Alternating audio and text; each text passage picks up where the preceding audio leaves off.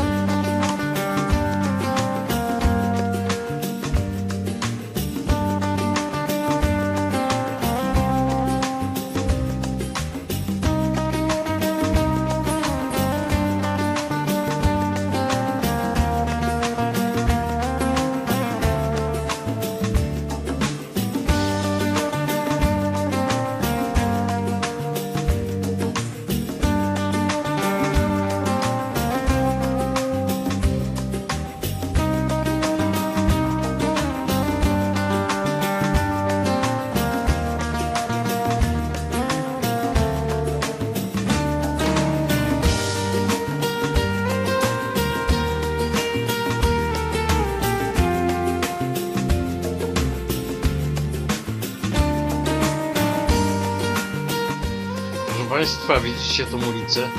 Ulica Grenadierów. Pewną mam wygraną. Wiecie dlaczego? Na tej ulicy nikt nie mieszka. Pozdrawiam Was wszystkich.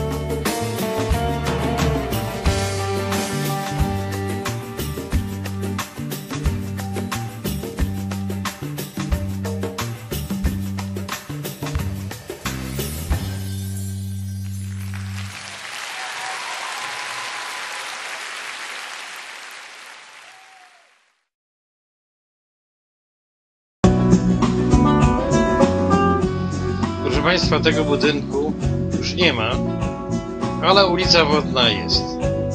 Wszystkiego dobrego.